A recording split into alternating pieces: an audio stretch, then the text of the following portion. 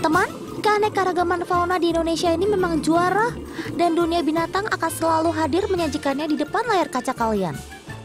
Makanya, tonton terus ya Dolpino dan Otan tiap Senin sampai Jumat jam setengah dua siang hanya di Trans 7.